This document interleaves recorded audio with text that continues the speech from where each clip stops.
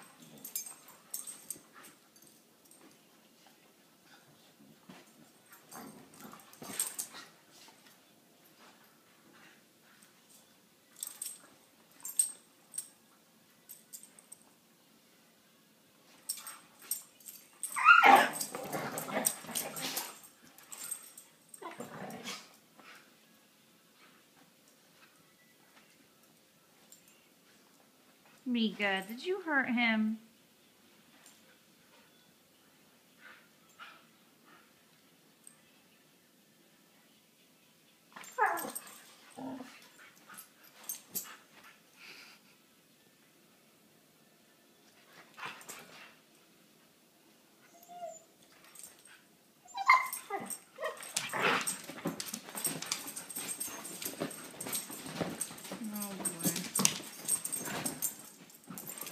Zoomy time.